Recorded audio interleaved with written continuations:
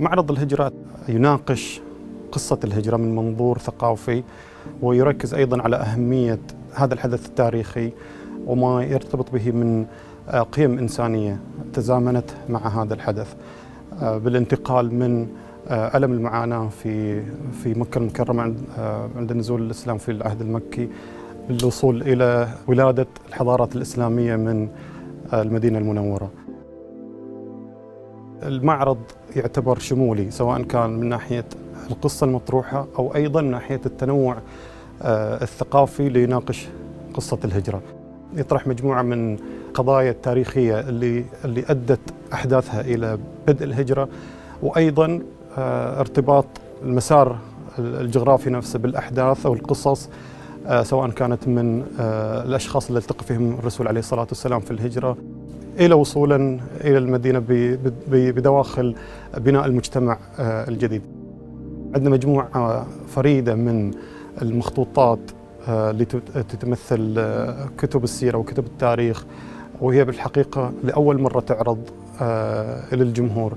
وهي وهي تأتي كركيزة التي تحقق شراكات الثقافية اللي قام فيها مركز الملك عبد العزيز الثقافي العالمي إثراء مع عدة جهات سواء كانت المتحف الوطني مجمع الملك عبد العزيز للمكتبات الوقفية أو أو دارة الفنون.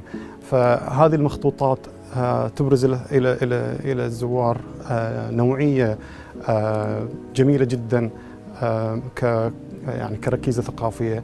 أيضا يوجد مجموعة من المشاهد السينمائية التي تمثل قصص الهجرة.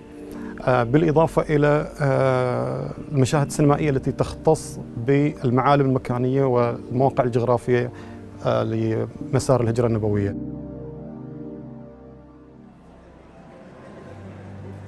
الهجرة النبوية قد يظن البعض أنها كانت سهلة مجرد يعني انتقال من مكة إلى المدينة. اليوم الواحد لو بيأخذ طيارة يأخذها في 40 دقيقة لو بيأخذها بالسيارة في أربع ساعات. وحتى في السابق لما كانوا ينتقلون من مكة إلى المدينة المنورة هم ينتقلون في عشر مراحل بمعنى عشر أيام سفر.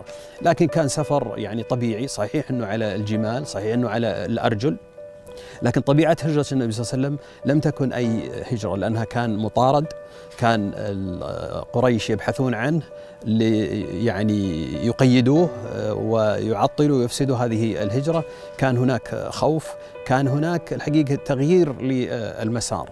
وبالتالي هجرة النبي صلى الله عليه وسلم كان كان تحتاج إلى تخطيط دقيق وتحتاج إلى تخطيط آمن وتحتاج إلى من يدل ويرشد الركب النبوي على المسار يعني الآمن الصحيح. وفي الوقت نفسه لأن عندهم دواب كان هناك ثلاثة من الإبل معهم. وبالتالي يعني يحتاجون إلى أماكن يعني ترتاح هذه الإبل وأماكن تأكل منها وأماكن تشرب منها. فلم يكن فقط مجرد هناك عناصر بشرية. مر في الطريق عدة عقبات ومر يعني عدة يعني صعوبات. منها سراقة بن مالك. المدلجي لما رصد النبي صلى الله عليه وسلم وكان يريد أن يحوز بالجائزة وكان هناك حوار وقصة مشهورة والمعرض الذي يقام في اثراء ركز على هذه القصة الحقيقة. بالتعاون مع مجموعة من الخبراء والفنانين صغنا مجموعة من المشاهد تلتزم بكل يوم من مسار الهجرة وتبرز المعالم المكانية بطريقة سينمائية بطريقة إبداعية.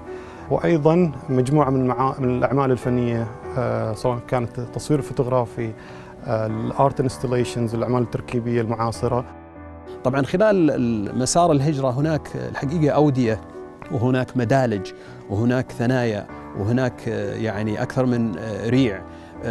كل هذه الحقيقة فيها طبيعة خلابة وفيها برضو صعوبة. فالمعرض حاول أن يبرز هذا الجانب من خلال توثيق هذا المسار بشكل دقيق وإبرازه كذلك للزائرين من خلال تصوير عالي الجودة ومن خلال النصوص التي تصاحب هذه اللقطات الجميلة.